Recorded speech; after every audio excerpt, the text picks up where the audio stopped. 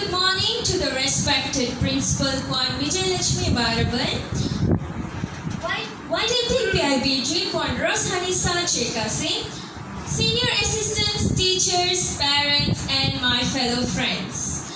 Well, before get into my speech, ladies and gentlemen, I would like to give a brief introduction of myself. My name is Madhumita, daughter of Tirumurthy from the class 5 harmony. It is indeed an honor to be given the chance to stand in front of you all.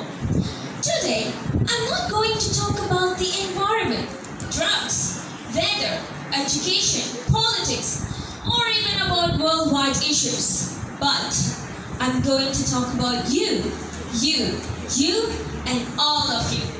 So guess what? The title of my speech is Become an Activist. My fellow young people, ladies and gentlemen, firstly, I would like to sincerely thank you for considering becoming an activist with the goal of making this world a better place for all of us. Being a young person growing up in a rural part of this developing world, I have never liked to be called a leader of tomorrow. Well, yeah, many of our politicians have adopted this phrase, always calling the youth leaders of tomorrow. Are you one of the leaders of tomorrow? As for me, I strongly deny that I am a leader of today and tomorrow. To me, leadership is not a process, but a natural choice based on how well one is able to lead and influence. If we are to go back to records of well documented past events, we have prominent figures like Nelson Mandela, Mahatma Gandhi, and Martin Luther King. To mention just a few, who still stand as example of what an activist must be. They are the people who on our behalf took a stand on decide how the future of our world should look. Ladies and gentlemen, the people I have mentioned turned some stones and put in some precedents we still enjoy today.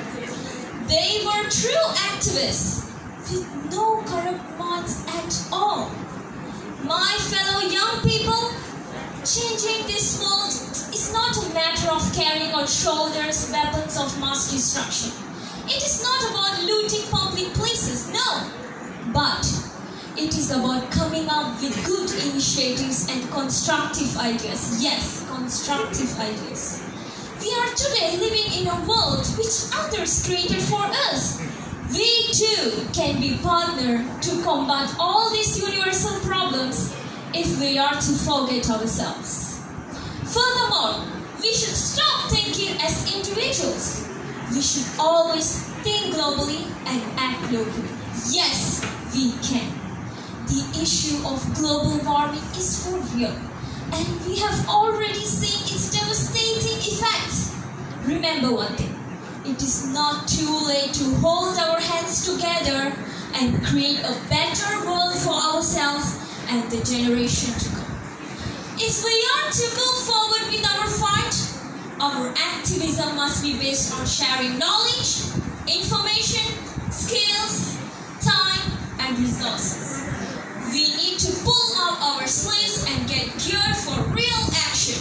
The knowledge and skills we have acquired naturally, academically, and through experiences should help us to shape this world into something we want to see as our own product. Ladies and gentlemen, let us fight with courage, hope, objectivity, and unity. Fall seven times, that's okay. Up eight, that should be our motto. My fellow young people, let us take these universal adversities as our opportunities to show the world our best.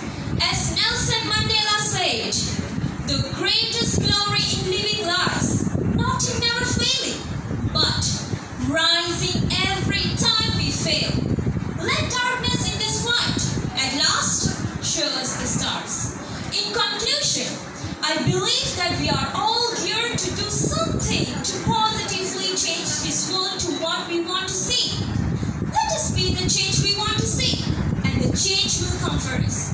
Thank you very much for attention.